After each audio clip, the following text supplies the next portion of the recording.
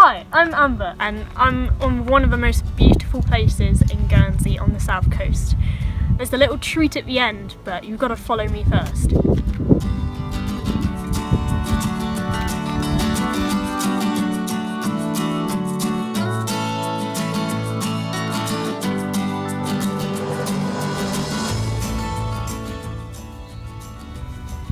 This is just paradise. It's like Guernsey's secret garden here at Icart Tea Rooms.